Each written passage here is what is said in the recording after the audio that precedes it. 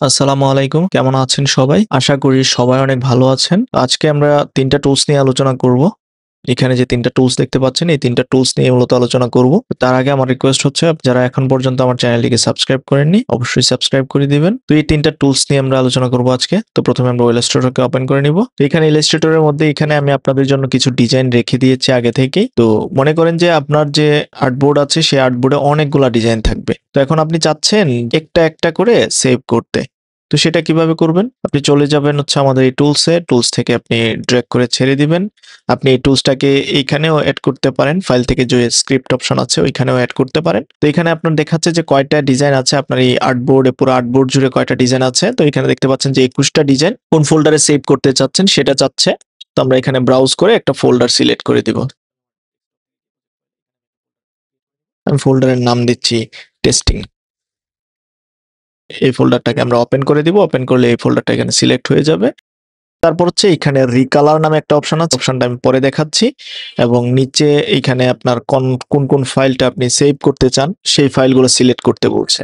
তো এখান থেকে আমি জেপিজি এবং ইপিএস সিলেক্ট করলাম এবং এগুলাই সেভ করব। তো আমি রান দিব। রান দেওয়ার পরে দেখবেন যে একটা একটা করে এখান থেকে ফাইল নিয়ে নিয়ে সে হচ্ছে সেভ করছে। যেই ডিজাইনের যেই সাইজ ওই সাইজ অনুযায়ী সে কাস্টম আর্টবোর্ড বানাবে। ডিজাইনের সাথে ম্যাচিং করে হচ্ছে আর্টবোর্ড বানাবে, বানিয়ে সেভ করবে।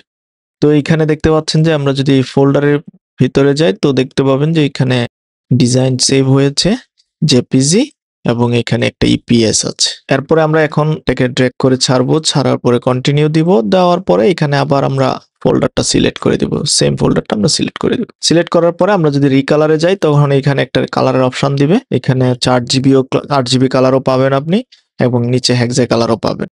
তো এখান থেকে আপনি যে কোনো একটা কালার পিক করেন। ধরেন আমি এই কালারটাই পিক করলাম। এখান থেকে আমি এই কোডটাকে কপি করব। কপি করে ইলাস্ট্রেটরে এসে এইখানে আমরা এই কোডটাকে পেস্ট করে দিব। পেস্ট করে দেওয়ার পরে আমরা হচ্ছে এখন যে ফাইল সেভ করতে চাই, তো আমি এখন আর ইপিএস সেভ করব না, যেহেতু আমাদের একবার ফাইল এগুলো সেভ করেছি ইপিএস তো আমরা এখানে আর ইপিএস দিচ্ছি না। চাইলে আমি ট্রান্সপারেন্ট দিতে পারি। তো আমি জেপিজি এবং ট্রান্সপারেন্ট দিলাম। ওকে ক্লিক করব, একটা একটা করে কালার চেঞ্জ হয়ে যে ফোল্ডার আপনি সিলেক্ট করে দিবেন, ওই ফোল্ডারে ফাইলগুলো সেভ হয়ে যাবে।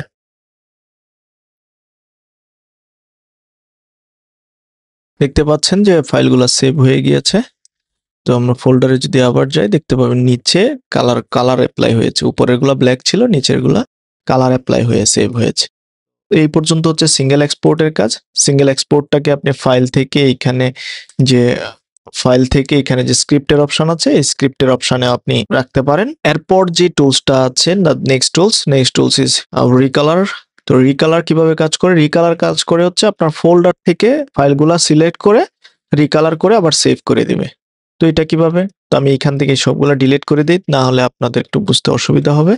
আমি সবগুলো ডিলিট করে দিয়ে আমি রিকালারটা ড্রেক করে ছাড়লাম। কন্টিনিউ দিব কন্টিনিউ দিলে এখানে একটা ফোল্ডার চাইবে যে কোন ফোল্ডারে আপনার ডিজাইনগুলো আছে। তো যেই ফোল্ডারটা আমরা সেভ করেছিলাম, ওই ফোল্ডারের যে ইপিএসগুলো আছে, আমরা সেই ইপিএসগুলো এখানে দেখাচ্ছে। মানে আপনার ইপিএস থাকতে হবে ওই ফোল্ডারে এখানে উপরে লেখা থাকবে ইপিএস যে এসবিজিআই এরকম লেখা থাকবে। তো আপনি ওপেন দিবেন। ওপেন দেওয়ার পরে এখানে হচ্ছে আপনার যে কালারের অপশনটা আছে কালারের অপশনটা দিবেন। তো আপনি কি কালার দিয়ে করতে চান? তো আমি একটা কালার দিই। ধরেন একটা কালার দিলাম এটাই। কপি করে নিয়ে আমি এখানে হচ্ছে এটাকে পেস্ট করে দেব। হ্যাশট্যাগটা দিয়ে দিতে হবে। তো দেওয়ার পরে এখানে র্যান্ডম কালার আছে। র্যান্ডম কালারটা পরে দেখাচ্ছি। আগে যে কালারটা আমরা দিয়েছি সেটা দেখি। তো আমরা যখন রান করব, তখন হচ্ছে ওই ফোল্ডার থেকে ফাইলটা ওপেন করে আবার সেভ করে দিবে।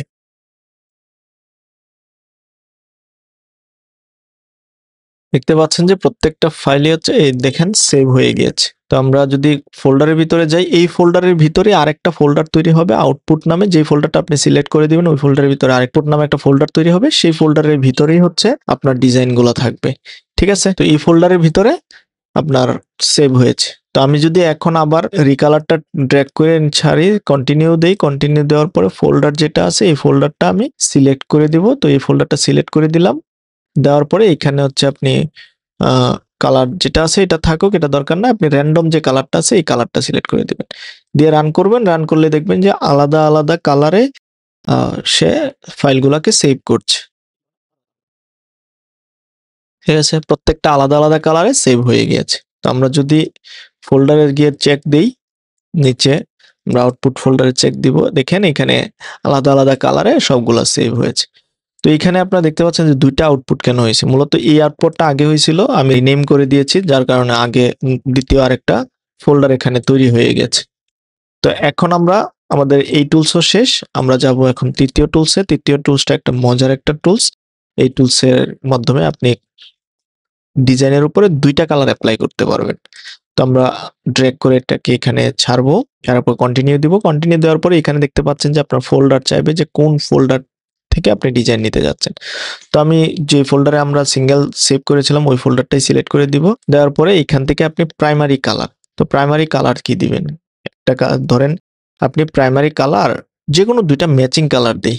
ধরেন এই কালারটা একটা, তো আমরা এই কালারের কোডটা কপি করব কপি করে এখানে নিয়ে পেস্ট করে দিব। আর আরেকটা কালার নিব, ধরেন একটু ডার্ক টাইপের এরকম একটা কালার কোড কালার নিলাম। আচ্ছা একদম চেঞ্জ করে দিই, অন্য একদম কালার নিই। তো এই কালারটা নিলাম। কালার নেওয়ার পরে আমরা হচ্ছে নিচের যে সেকেন্ডারি কালার আছে সেকেন্ডারি কালারে এটা পেস্ট করে দিব। র্যান্ডম কালারটা র্যান্ডম কালার দরকার নেই র্যান্ডম কালার হচ্ছে পরে দেখাচ্ছি। তো রানে ক্লিক দিব, দেখতে পাচ্ছেন যে প্রত্যেকটা ডিজাইন আমি যে দুইটা কালার দিয়েছিলাম, সেই দুইটা কালার অনুযায়ী রিকালার করছে। ঠিক আছে? আপনার একটা, দুই কালারের একটা ইফেক্ট অ্যাপ্লাই করেছে। আমরা যে টেস্টিং ফোল্ডারের ভিতরে যাই, এখানে আপনি এই আউটপুট ফোল্ডারের ভিতরে যাই, এখানে দেখতে পাচ্ছেন যে ডিজাইনগুলো আছে, সবগুলো ডিজাইনের হচ্ছে কালার চেঞ্জ হয়ে গিয়েছে। কালার চেঞ্জ হয়ে প্রত্যেকটা হচ্ছে দুইটা কালার অ্যাপ্লাই হয়েছে, যে দুইটা কালার আমরা দিয়েছিলাম। তো আমরা যদি এখন, আমরা একটু কাজ করি, আমি এটা ফিক্স করে দিব, আসলে ডিজাইনগুলো রিপ্লেস করে ফেলতেছে, তো আমি এটা ফিক্স করে দিব। আমরা আবার ডোটন অ্যাপ্লাই করব কন্টিনিউ দিব ফোল্ডার সিলেক্ট করব। হচ্ছে ওই ফোল্ডারটাই সিলেক্ট করি, করার পরে এখান থেকে হচ্ছে আমরা কালার দিব। সরি র্যান্ডম দিব কালার দিব না। এখন আর কালার দিব না, আমরা র্যান্ডমটা সিলেক্ট করব। তো আমরা রান দিব রান দেওয়ার পরে দেখেন র্যান্ডমলি যে কালার আছে সেই রকম যা তার ইচ্ছা মতো যে কোনো কালার সে অ্যাপ্লাই করবে। এটার কোনো রুলস নাই, তার যে কালার মনে চায়, সেই কালারই সে অ্যাপ্লাই করবে। আমরা যদি ফোল্ডার চেক দেই ফোল্ডার চেক দিলে দেখতে পাবেন, এখানে র্যান্ডমলি কালার সেট হয়েছে। তো এই তিনটা টুলস দিয়ে আপনারা যে কোনোভাবে কাজ করতে পারেন সিঙ্গেল এক্সপোর্টের অথবা কালার এই কালার সব, এই হচ্ছে আজকের এই ভিডিওর টপিকস এই পর্যন্তই তিনটা টুলস এবং এই তিনটা টুলসের কাজের একটু জিনিস দেখায় আপনাকে। এইখানে দেখতে পাচ্ছেন যে আমি একটা স্ক্রিনশট রেখেছি। এগুলো আমি কয়েকদিন আগে আপলোড দিয়েছিলাম। যখন হচ্ছে এই টুলসটা নিয়ে আমি কাজ করছিলাম তখন। এই দুইটা টুলস আমার আগেই ছিল, কিন্তু এই টুলসটা হচ্ছে আমি গতকালকে আপনাদের জন্য বিল্ড করেছি। আপনাদেরকে বলেছিলাম আমি এই টুলসটা একটা টুলস আপনাদের জন্য আসবে। এই টুলসটা গতকালকে বিল্ড করেছি এবং এই দুটা টুলস আমি আগে বানিয়েছিলাম। তো এখানে দেখতে পাচ্ছেন যে আমার কিছু ডিজাইন আছে, যে ডিজাইনগুলো অ্যাপ্রুভ হয়েছে এবং আপনারা দেখতে পাচ্ছেন যে ডিজাইনগুলো একদম সেম এইখানে যে ডিজাইন আছে, এইখানেও সেম ডিজাইন এইখানেও সেম ডিজাইন ঠিক আছে? এই তিনটা সেম সেট শুধু আমি হালকা করে কালারগুলো চেঞ্জ করে দিয়েছি। এগুলাকে গোল্ডেন কালার দিয়েছি, এটা সিলভার কালার দিয়েছি। এটা জাস্ট আমি টেস্টিং পারপাস করেছিলাম। টেস্টিং পারপাসের করার পরে এটা হচ্ছে এখানে নাই, এই টুলসটা অন্য আরেকটা টুলস দিয়ে করেছিলাম। সো এটা পরে অন্য আরেকদিন দেখিয়ে দিব। নিচে যে ডিজাইনগুলো আছে, এই ডিজাইনগুলো মূলত এই ডোটন দিয়ে করা। এই ডোটন দিয়ে করে আমি হচ্ছে সেট বানিয়ে ডিরেক্টলি আপলোড করে দিয়েছি। দেখেন সবগুলা অ্যাপ্রুভ হয়েছে। এবং এই সবগুলা ডিজাইনই হচ্ছে আবার আমার সিঙ্গেল আপলোড করা আছে। সিঙ্গেল আপলোড করাগুলো আমার অ্যাপ্রুভ হয়েছে এবং হচ্ছে এইগুলো আমার অ্যাপ্রুভ হয়েছে। সিঙ্গেল আপ যেগুলো অ্যাপ্রুভ হয়েছে সেটা কীভাবে অ্যাপ্রুভ হয়েছে সেটা আমি আপনাদেরকে অন্য একটা টুলস এর মাধ্যমে করেছিলাম।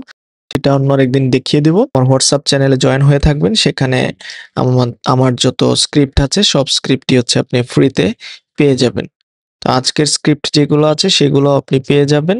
ঠিক আছে? আজকে এই পর্যন্তই থাকুক। ধন্যবাদ সবাইকে। ভালো থাকবেন। আসসালামু আলাইকুম।